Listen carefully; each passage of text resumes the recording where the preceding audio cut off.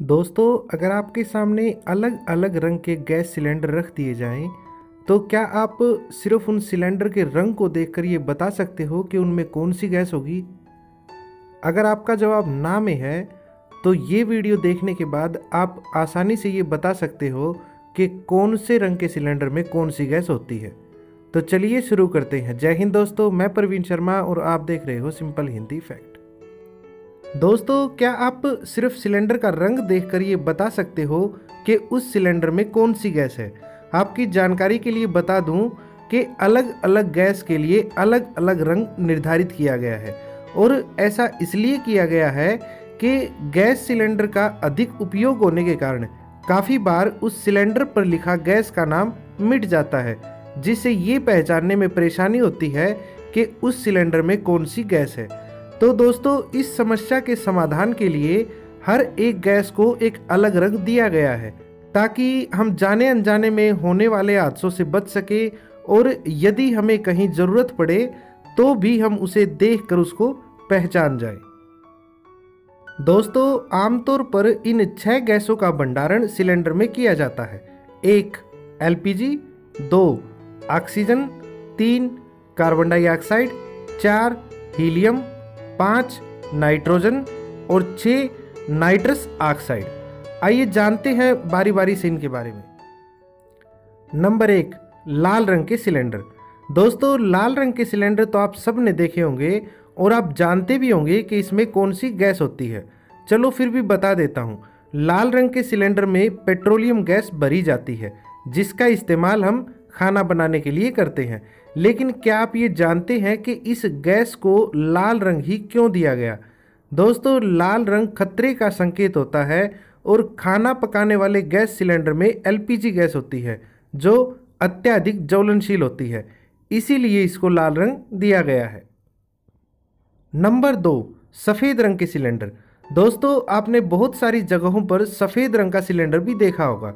सफ़ेद रंग के सिलेंडर में ऑक्सीजन गैस भरी होती है।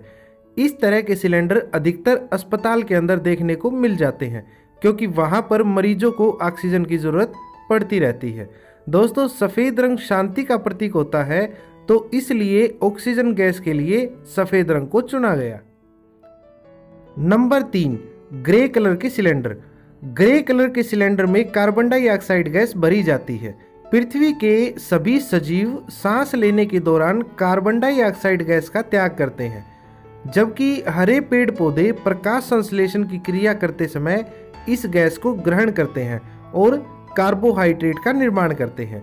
तो दोस्तों, इस प्रकार कार्बन डाइऑक्साइड भी उतनी ही ज़रूरी है जितनी कि ऑक्सीजन।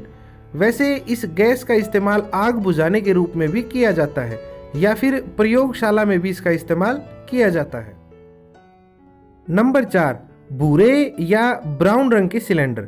दोस्तों, भूरे रंग के सिलेंडर वैसे तो देखने में बहुत कम मिलते हैं, लेकिन इस तरह के सिलेंडर भी होते हैं।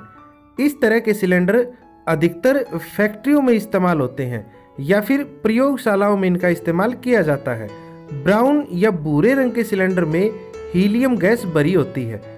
दोस्तों, मौसम का पता लगाने के लिए बैलूनों में हीलियम गैस का उपयोग किया जाता है। नंबर पाँच, काले रंग के सिलेंडर।